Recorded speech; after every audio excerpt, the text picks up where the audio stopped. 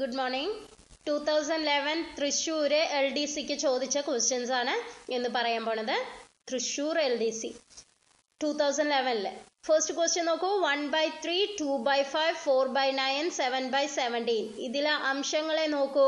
അംശം എന്ന് പറഞ്ഞിട്ട് വെച്ചെങ്കിൽ ന്യൂമറേറ്റർ അത് നോക്കൂ. വൺ പ്ലസ് വൺ അല്ലേ?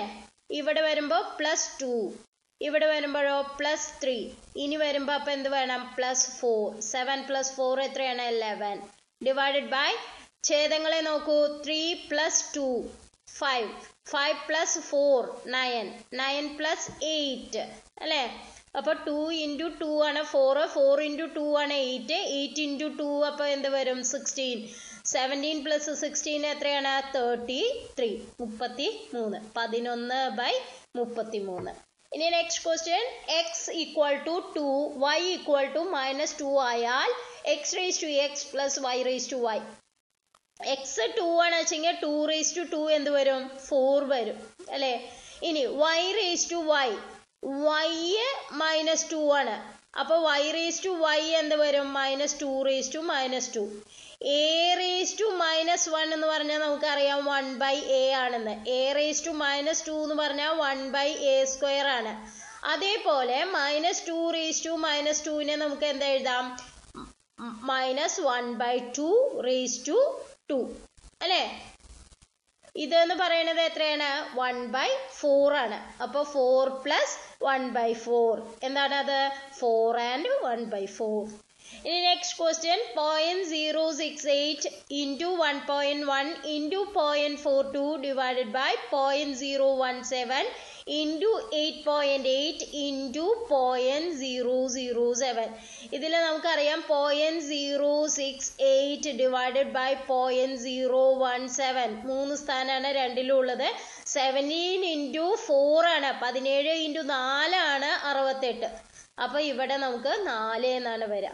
ഇനി one point one divided by eight point eight എന്നുള്ളത് എന്താണ്? One point one into eight ആണ് എയ്റ്റ് പോയിന്റ് എയ്റ്റ് അപ്പോൾ ഇവിടെയാണ് എയ്റ്റ് വരിക.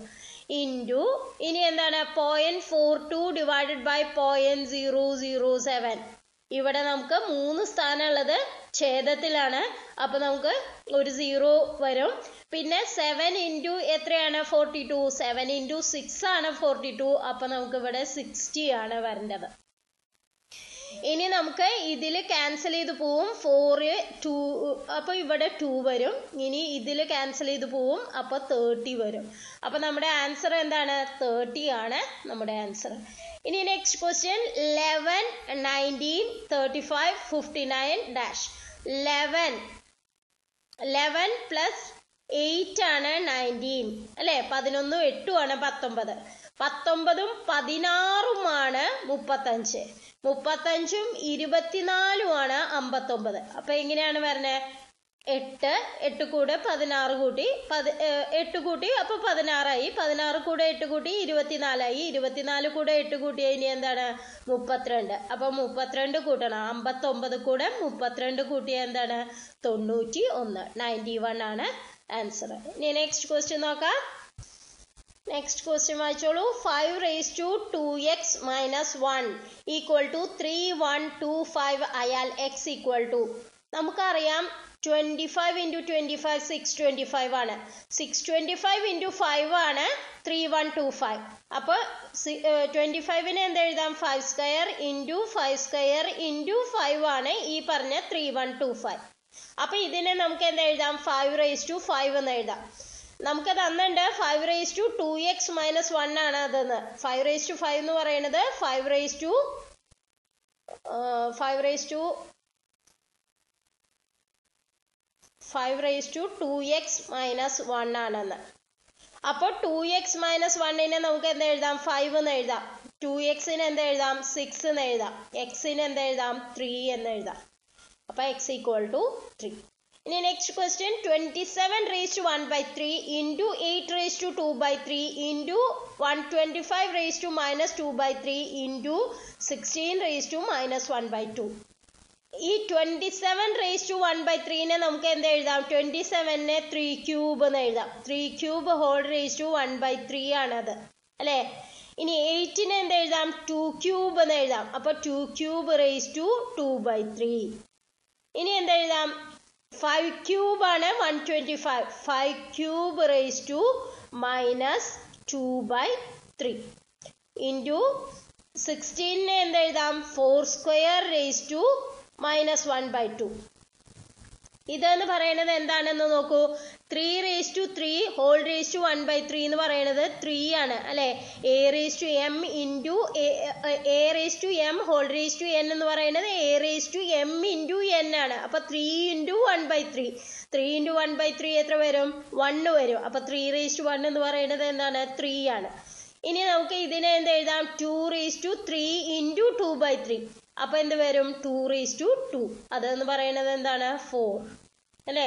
Into five raise to three whole raise to minus two by three three cancel ചെയ്ത് പോകും five raise to minus two five raise to minus ടുവിനെ എന്ത് എഴുതാം? One by five square into four raise to minus one four raise to minus വണ്ണിന് എന്ത് എഴുതാം? One by four എന്ന് എഴുതാം. അപ്പൊ ഇതിൽ ഈ ഫോർ ക്യാൻസൽ ചെയ്ത് പോവും. അപ്പൊ നമുക്കുള്ളത് എന്താണ്? ത്രീ ബൈ ട്വന്റി ഫൈവ് ഇതാണ് നമ്മുടെ ആൻസർ ഇനി നെക്സ്റ്റ് ക്വസ്റ്റ്യൻ നോക്കാം. Two minus five by three plus seven plus two by five minus three നമുക്ക് ആദ്യം പൂർണസംഖ്യ പാർട്ട് നോക്കാം. ടു പ്ലസ് സെവൻ എത്രയാണ്? നയൻ നയൻ മൈനസ് ത്രീ എത്രയാണ്? സിക്സ് അല്ലെ?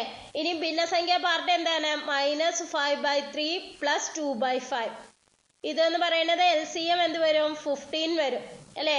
അപ്പൊ minus twenty five plus six ഇതെന്ന് പറയുന്നത് എന്താണ്? മൈനസ് നയന്റീൻ ബൈ ഫിഫ്റ്റീൻ അപ്പൊ നമുക്ക് six minus nineteen by fifteen വന്നു. ഇതെന്ന് പറയുന്നത് എന്താണ്? Ninety minus nineteen divided by fifteen ഇതെന്ന് പറയുന്നത് എത്രയാണ് വരിക? സെവന്റി വൺ ബൈ ഫിഫ്റ്റീൻ അപ്പോൾ എ ആണ് നമ്മുടെ ആൻസർ നെക്സ്റ്റ് ക്വസ്റ്റ്യൻ നോക്കാം. നെക്സ്റ്റ് ക്വസ്റ്റ്യൻ വായിക്കാം. A equal to three by five B B equal to one by four C ആയാൽ A is to B is to C A എന്ന് പറയണത് three by five B എന്ന് പറഞ്ഞാൽ five A equal to three B എന്ന് എഴുതാം. അല്ലേ? ഇനി നമുക്ക് എന്താണ് തന്നേക്കണേ? B equal to one by four C അങ്ങനെ പറഞ്ഞാൽ four B equal to C എന്ന് എഴുതാം. അല്ലേ?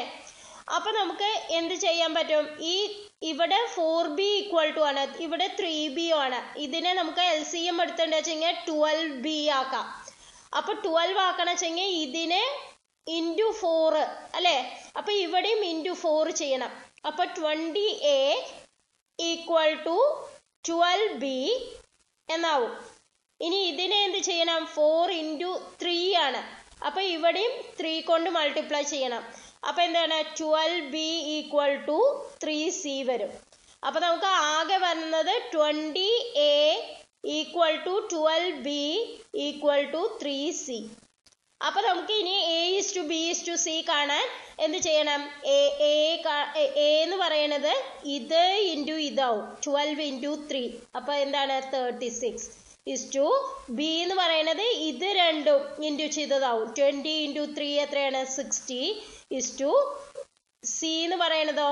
ഇത് രണ്ടും മൾട്ടിപ്ലൈ ചെയ്തതാവും. ട്വൽവ് ഇന്റു ട്വന്റി എത്രയാണ്? ടു ഫോർട്ടി അപ്പൊ നമുക്ക് ഇതിൽ സിക്സ് പോവും അല്ലെ? Six is to ten is to എന്താവും? ഫോർട്ടി ആവും. ഇതിൽ ഇനി ടു പോവും. അപ്പൊ three is to five is to twenty അപ്പൊ നമുക്ക് ആൻസർ എന്താണ്? Three is to five is to twenty രണ്ട് ഗോളങ്ങളുടെ വ്യാപ്തങ്ങളുടെ അംശബന്ധം twenty seven is to sixty four ആയാൽ ഉപരിതല വിസ്തീർണങ്ങളുടെ അംശബന്ധം ഡാഷ് ആകുന്നു. വ്യാപ്തങ്ങളുടെ അംശബന്ധം എന്ന് പറഞ്ഞാൽ എന്താണ്? Four by three pi R one cube is to four by three pi R two cube അല്ലെ? ആർ വൺ ആർ ടു എന്ന് എടുത്തത് രണ്ടും വ്യത്യസ്തമായിട്ടുള്ള ആരങ്ങളായിരിക്കും. അപ്പോൾ ഇതിൽ നമുക്ക് എന്താ തന്നിരിക്കണേ? R one cube is to R two cube ആണ് നമുക്ക് ഈ തന്നിരിക്കണത്. അപ്പൊ നമുക്ക് അതിന്ന് R one is to R two എന്താ എഴുതാം? ത്രീ ഈസ് ടു ഫോർ എന്ന് എഴുതാം. അല്ലെ? ത്രീ ക്യൂബ് ആണ് ട്വന്റി സെവൻ ഫോർ ക്യൂബ് ആണ് സിക്സ്റ്റി ഫോർ അപ്പൊ R one is to R two എന്ന് പറയുന്നത് ത്രീ ഈസ് ടു ഫോർ ഇനി നമുക്ക് ഉപരിതല വിസ്തീർണമാണ് കണ്ടത് ഉപരിതല വിസ്തീർണം എന്ന് പറഞ്ഞാൽ four pi R one square is to four pi R two square അപ്പൊ നമുക്ക് കണ്ടത് R one square is to R two square ആണ് നമുക്ക് കിട്ടേണ്ടത്. അപ്പോൾ ആർ വൺ സ്ക്വയർ എന്ത് വരും? Nine nine is to R two square എന്ത് വരും? ഫോർ സ്ക്വയർ സിക്സ്റ്റീൻ അപ്പൊ നയൻ ഈസ് ടു സിക്സ്റ്റീൻ ഇനി നെക്സ്റ്റ് ക്വസ്റ്റ്യൻ ഒറ്റയാനെ തിരഞ്ഞെടുക്കുക. പതിനേഴ് പത്തൊമ്പത് ഇരുപത്തൊന്ന് ഇരുപത്തിമൂന്ന്. ഇതിൽ നോക്കി നോക്കൂ. പതിനേഴ് പത്തൊമ്പത് ഇരുപത്തിമൂന്നൊക്കെ എന്താണ്?